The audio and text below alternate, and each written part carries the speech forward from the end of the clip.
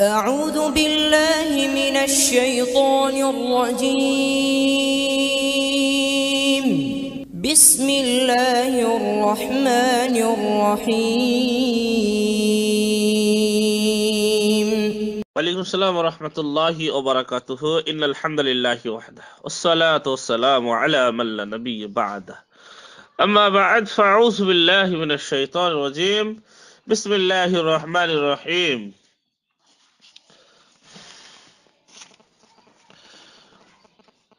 وإياكم مهدثات العمور فإن كل بدعة ضلالة رواه أبو داود الترمذي আমার সম্মানিত দিনী ভাই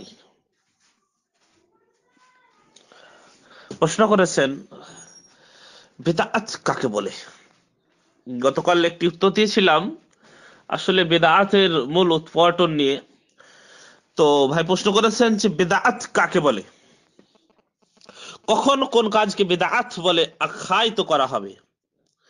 খুব সুন্দর প্রশ্ন করেছেন। খাইরান ভাই বিদাত বলা হয় দিন ও ইবাদতে নব আবিষ্কৃত কাজকে। প্রথমে বুঝবেন ভালোভাবে বেদাত বলা হয় দিন ও ইবাদতে নব আবিষ্কৃত কাজকে বেদাত বলা হয়। অর্থাৎ দিন বা ইবাদত মনে করে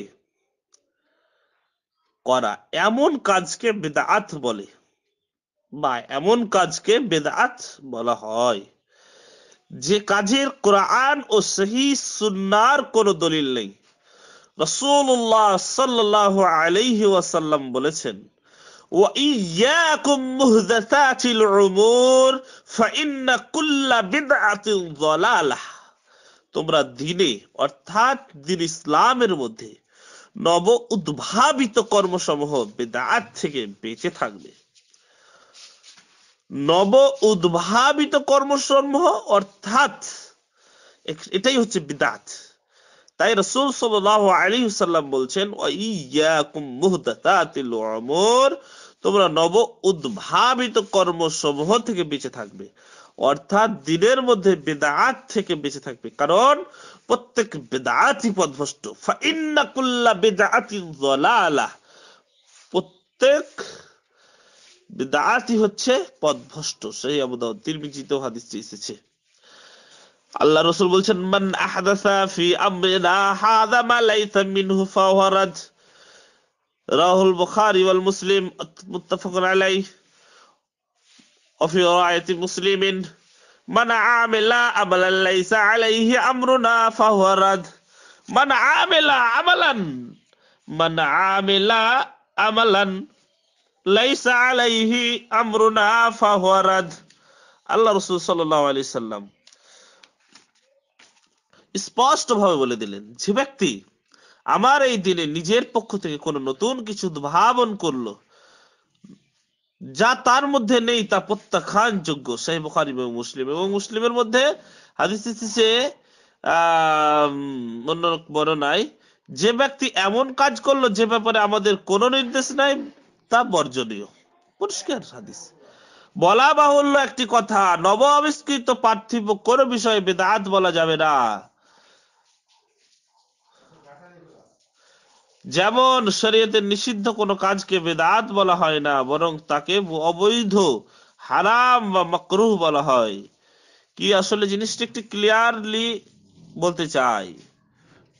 যেমন ধরেন ট্রেন, বাস, গাড়ি, বাড়ি, যেগুলো দুনিয়ার দুনিয়ার উপকারে, সেগুলি আসলে আমাদের বেদাত হবে না। ইবাদত এবং দিন ইসলামের নামে যেগুলি সৃষ্টি, যেগুলো নব আবিষ্কৃত যেগুলো রসুল্লাহ সাল্লাহ সাল্লাম করেননি, তবে তবে এই করেননি মহাদিসিন কিরাম করেননি, ইমামেরা ইমামগণ করেননি।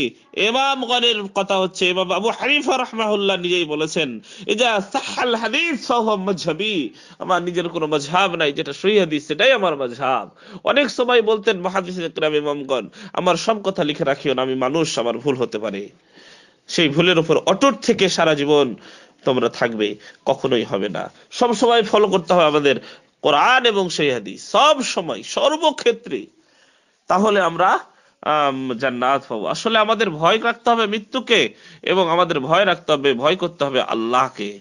তাহলে আমাদের দ্বারাতে অন্যায়, শিরিক, বেদাত, ভণ্ডতা এগুলি থাকবে না। আমাদের নিজের তো বড়কে প্রকাশ করতে গিয়ে দিনের পর দিন আমরা দিনের মধ্যে নবাবিষ্কৃত জিনিসকে একের পর এক চালিয়ে যাচ্ছি। প্রমাণিত হওয়ার পরে, স্বতঃস্ফূর্ত প্রমাণিত হওয়ার পরে এই বেদাতের আকরা আমরা খাড়ো করে রেখেছি।